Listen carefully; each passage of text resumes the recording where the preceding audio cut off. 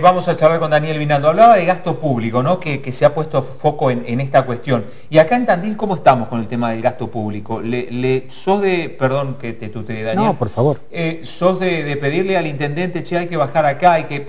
Sí. ¿Cómo estamos en ese Sí, constantemente.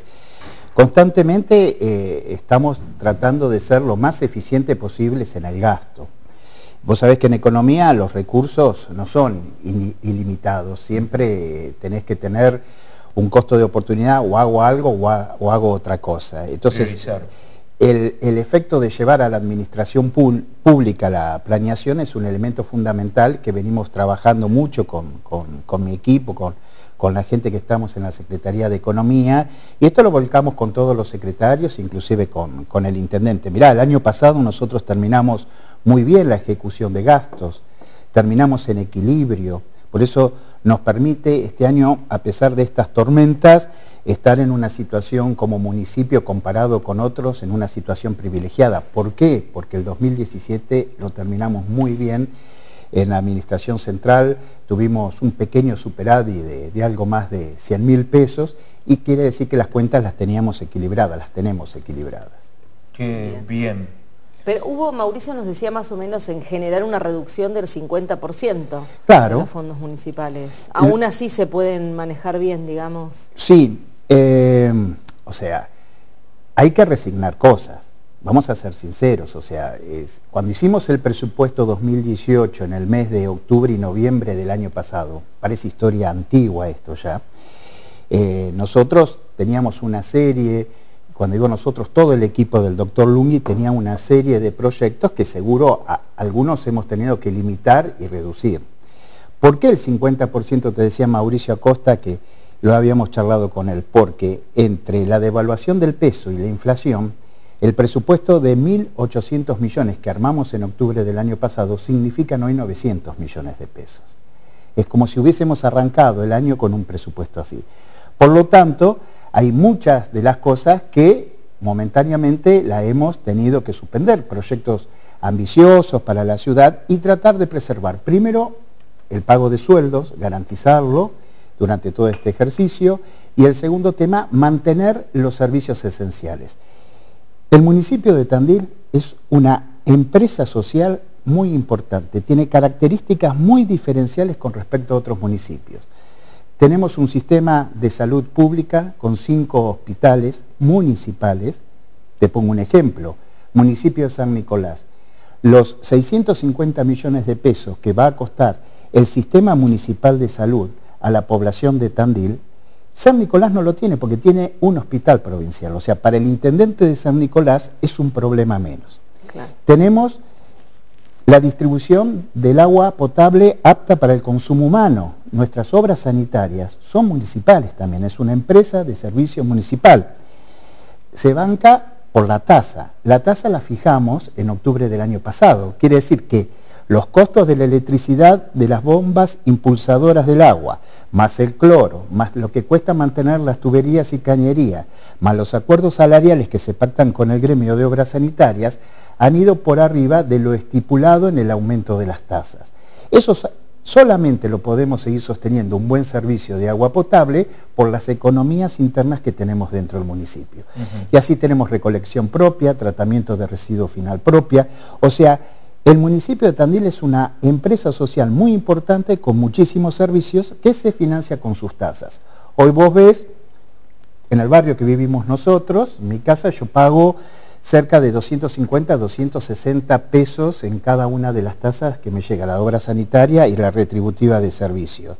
Y lo comparo con lo que pago de cable, con lo que pago de gas, con lo que pago de luz, con lo que pago de otros servicios, y te das cuenta que en ese sentido las tasas no significan tanto en el, bolsillo del ciudadano contra los servicios que percibe si lo, podemos mensurar de esa manera. Déjame verlo de distinta manera. Sí, por supuesto. Porque si lo tomamos como tasas, eh, a ver, de a una está bien. Ahora, si sumamos todo, nos vamos a encontrar con una suma importante. Inclusive es verdad, a veces eh, pagando eh, más de un impuesto por el mismo servicio. ¿Como cuál? Y en la seguridad. Pagamos en Tandil y pagamos en provincia. ¿Y la seguridad de quién es responsable? De provincia. Y vos sabés que nosotros el 60% del consumo de combustible que pagamos a las empresas que proveen estos servicios en Tandil va a parar a la seguridad? Ya lo sabemos y lo hemos charlado un montón Ahora, de veces. vos te imaginás... vos, lo, vos, lo, planteás de una manera y nosotros por ahí lo planteamos de otra. Que las dos son ciertas, digamos, ninguna es errónea, pero depende de donde uno se pare, puede ver la cosa de una u otra manera. Seguro que sí. Lo que hay que entender, y esto lo sabemos y lo dicen los intendentes, yo tengo un foro de secretarios de Hacienda, de Economía, donde lo discutimos el tema, se lo transmitimos a eh, tuvimos una reunión hace dos semanas en Las Flores donde estuvo el presidente de, la Comisión de Presupuesto. La seguridad no funcionaría, por lo menos en el interior de la provincia de Buenos Aires, si los municipios del interior no hacemos los aportes para combustible, arreglos de los vehículos, chapa, pintura, respuestos, cubiertas, no tendríamos la seguridad que tenemos, que seguro es perfectible, mejorable, no la tendríamos las 24 horas del día si no fuera por el aporte de los municipios. ¿Cómo está el nivel de cobrabilidad de las tasas, Daniel? Porque en otros años ha sido muy bueno. Es bueno, es bueno. Vos sabés que ayer, como fue el tema que, ustedes me convocaron, pedí a, Luis Jensen eh, en el tema que me hiciera un cuadro comparativo, sobre todo 2017, porque como les decía, viste, fue un año muy positivo para nosotros, cerramos en equilibrio. Y te puedo decir, de las tasas más importantes, que son la red vial, la retributiva de servicios, la de servicios sanitarios y la de seguridad y higiene TUAE en, en, nuestro. En realidad la cobrabilidad, fíjate, en la red vial se mantiene 82-80, o sea, 82% 2017 y 80% ahora. Ha bajado dos puntos. Este, acá tenemos un gran trabajo con la cooperativa vial, porque eh, es fundamental la cooperativa vial que mantiene los caminos. Ahora empieza la etapa de, de mejorado de caminos en la época para que el sector pueda sacar la producción, lo más importante para nuestro país. recién el intendente que hasta para ser de modelo de otros municipios también, ¿no? El formato de la cooperativa sí, vial. Sí, eh, a mí me ha tocado cuando estuve en el IAE, hice un trabajo de posgrado sobre el tema de, de los consorcios rurales y cómo terminamos. Tenemos la suerte de tener un sistema que en algunos casos muchos municipios no pueden tomarlo y te lo explico por qué, porque mm, la tasa esta es la principal en, municipios rurales. Entonces, financian otros conceptos con esta tasa rural. Nosotros, nuestra principal tasa es la TUAE, la red vial es muy importante, pero la destinamos mucho para sacar la producción este, primaria del, productor. Y en este sentido hacemos un gran trabajo con quienes se van atrasando de, eh, de exigir la pronta cobrabilidad. Retributiva de servicios, el año pasado llevábamos un 64% de cobrabilidad, este año un punto más, 65% ¿No tenemos. Un bajo eso? Para Argentina y el interior del país, no. En el 80, cuando comenzó la democracia, la cobrabilidad era del 45 y 50%. En las épocas de Reynoso y de Pizorno era esa. Correcto. Este, ¿Podríamos estar mejor? Podríamos estar mejor. Es la eh, retributiva. Es la retributiva eh, servicio. ¿Porcentaje de este año? 65%. Correcto. Subió un punto. Subió un punto. Lo mismo para el servicios sanitarios. Aumentó un punto del 65 al 66%. Nuestra ambición es llegar en el término de un año a, a rondar una cobrabilidad del 70%. Y en este caso este, yo creo que es un poco mm, haber aumentado este punto porque las tasas en realidad al estar en precios de octubre eh, no han significado una actualización de un importe y cueste tanto y la gente prefiere en este sentido estar al día con, el pago. Y con respecto a la TUAE, o sea, la tasa unificada de la actividad económica, acá ya es un poco este, más complicado analizarlo. El movimiento económico es un porcentaje de eso. Es un porcentaje, digamos, que se actualiza de acuerdo al nivel de venta. Quiere decir que acá juega el precio y la cantidad. Aumenta el precio, pero hay que ver qué cantidad se vende.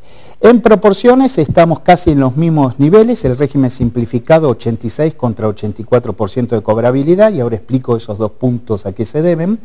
Y en el régimen general del 83% de cobrabilidad al 82%. En el régimen simplificado, lo que está ocurriendo estos dos puntos es que el pequeño comerciante, el que está dentro de este nivel, declara en tiempo y forma, pero el pago lo está prorrogando. Cuando lo veo en cantidad de dinero, nosotros lo que hemos tenido es un aumento nominal de los importes. Estamos cobrando más que el año pasado, pero si actualizo los importes del año pasado a una inflación, ponele hoy de 32 a 35%, ese monto es menor. Correcto. Esa es la tasa que nos está significando cómo es la productividad de Tandil. Tandil tiene mucho mejor productividad que otros municipios, pero atención, nosotros en el presupuesto 2017 ¿Qué hicimos? No aumentamos alícuotas en esta tasa, o sea, no aumentamos los porcentajes por mil y no modificamos el monto mínimo. Lo tuvimos a valores de 2016.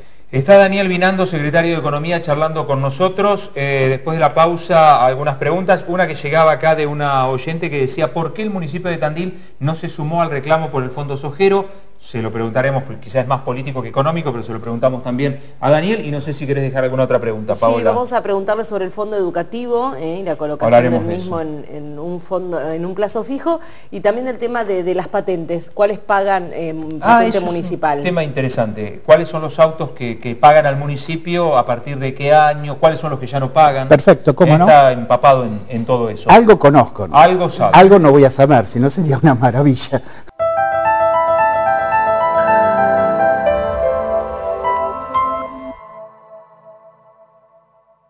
Daniel, había quedado pendiente la pregunta que tiene que ver con el fondo educativo y la cuestión esta de que está en el plazo fijo, hay muchos que les parece bien, otros que les parece mal. ¿Cómo estamos? En ¿Sigue, ¿Sigue habiendo plata en el del fondo educativo en plazo fijo? No. No. Ah, no. A ver, vamos a aclarar, vamos a aclarar. Se ha hecho una especie de fábula, de mito, que la oposición ha utilizado muy bien con respecto a a las colocaciones a, plazo fijo que pueden hacer los municipios. Existen dos tipos de recursos, déjenme explicarlo porque si no este, se simplifica mucho de que la plata del fondo educativo se pone a plazo fijo. No es así la realidad. Existen recursos de libre disponibilidad y afectados. Los recursos afectados entran y hasta que se procede a la utilización de los mismos por una obra, pongámosle, entre que llamas a licitación adjudicás, se construye la obra, se van certificando los avances de obra y vas pagando, transcurre un tiempo. Tener esa plata para esa obra en cuenta corriente a los niveles de inflación, yo tendría que presentarle la renuncia al intendente como secretario de Economía porque a pesar de, que nunca un plazo fijo va a recuperar los niveles de inflación, estoy perdiendo aún más plata. Entonces, ¿qué hacemos esos fondos afectados? Los colocamos en plazo fijo. ¿Con qué? Con una programación, con un planeamiento de los vencimientos que vamos a tener, que en el momento que vence el, plazo fijo, esa plata está dispuesta para pagar la obra. Esto es lo que se hace con los fondos afectados. Si los gastos del fondo afectado se cubren nominalmente, el interés puede ir de libre disponibilidad. Si no alcanza, se tiene que afectar al fondo ¿Y eso quién lo determina? El Tribunal de Cuentas por resoluciones.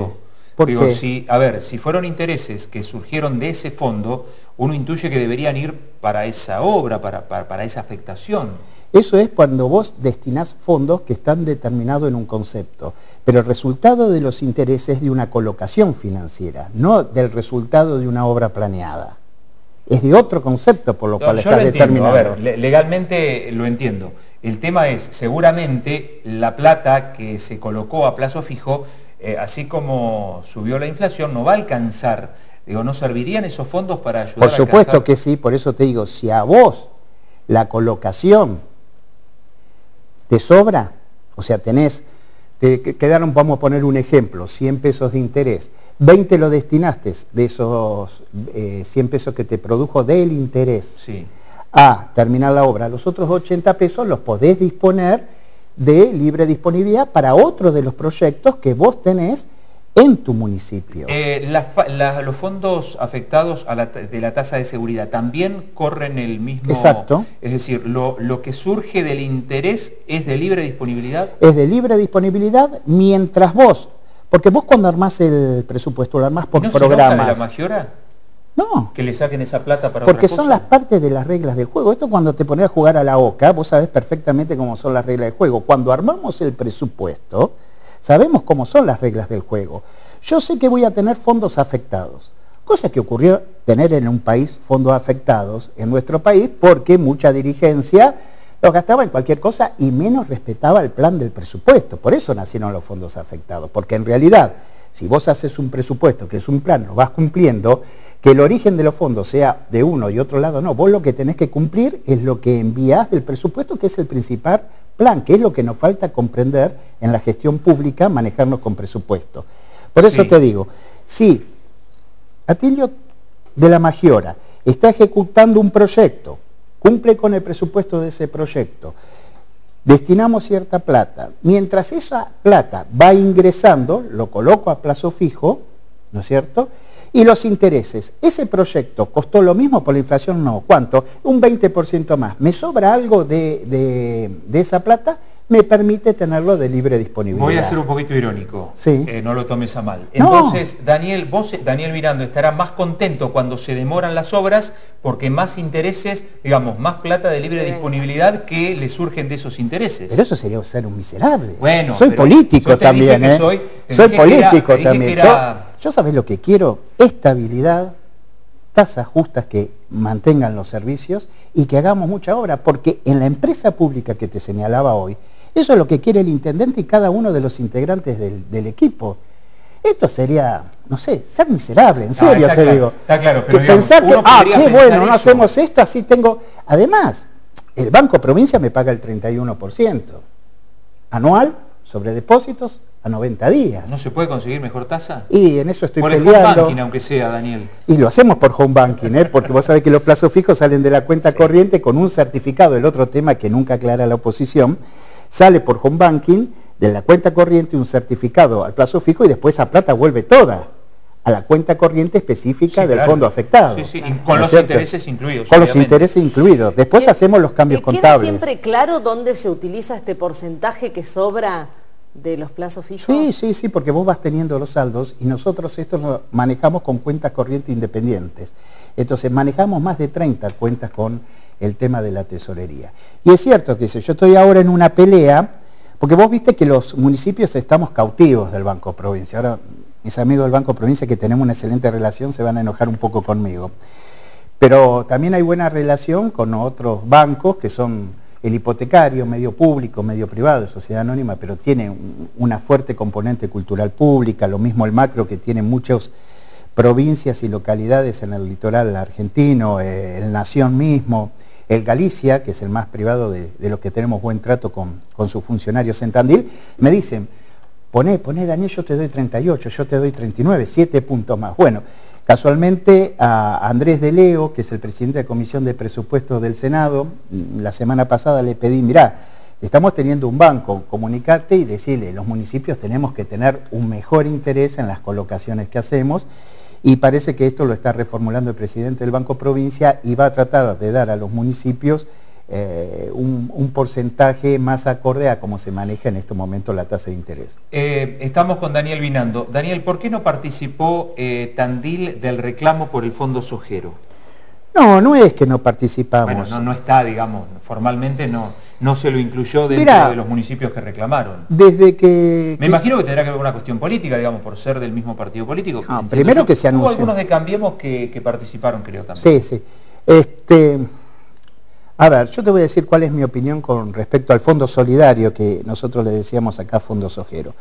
Cuando comenzamos la campaña de Cambiemos decíamos bien en claro que las retenciones iban a bajar, tenían que terminar en el 18% el año que viene, estábamos en el 25% este año y bueno, se adelantó con todas las nuevas medidas económicas. Eh, se sabía que iba a ir disminuyendo este fondo, o sea, desde que comenzamos hace dos años y medio atrás, los secretarios de Hacienda de todos los municipios de la provincia tenían que saber que esto iba a ir disminuyendo. Tuvimos causas externas, inundación, sequías, baja de los precios, que también afectaron el fondo en disminución. O sea, era un fondo muy inestable y que en realidad sabíamos que va a tender a desaparecer. Esa era mi opinión.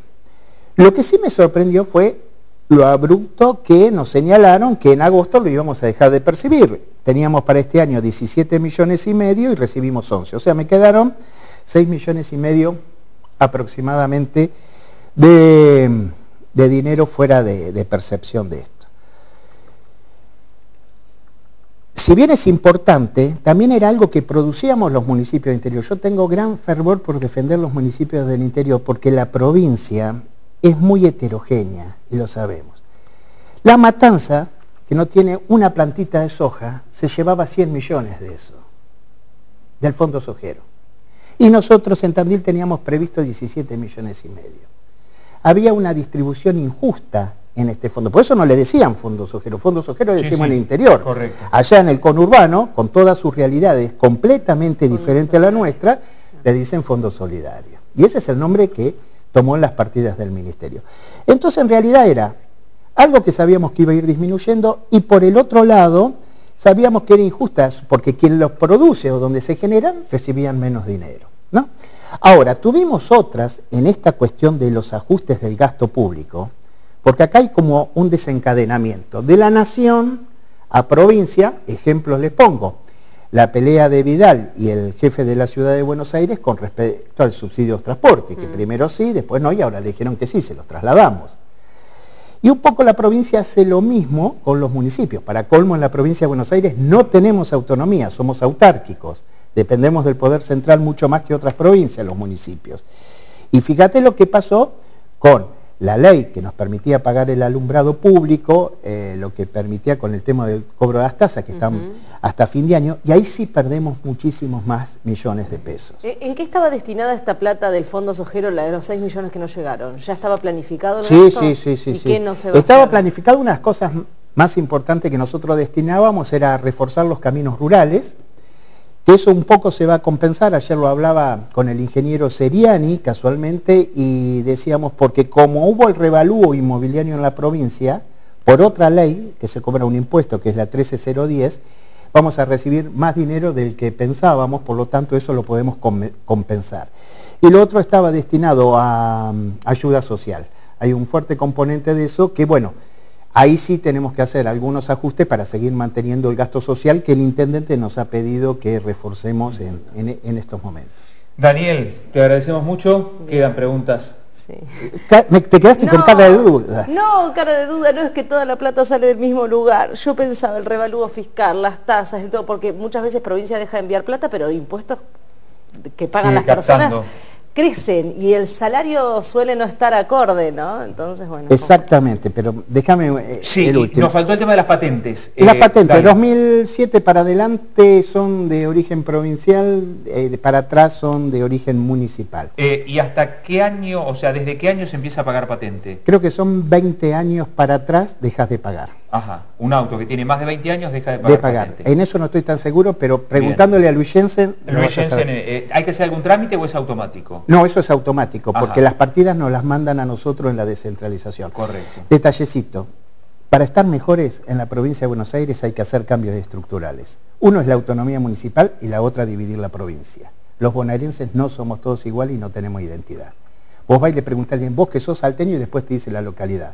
Vos estás en, en nuestro país y le preguntás que sos tandilense y después te asocian que sos de la provincia de Buenos Aires. Gracias, muchas gracias Daniel, muy amable. Daniel Vinando, secretario de Economía, charlando con nosotros de varios temas. 14 grados 6 décimas de temperatura, ya volvemos.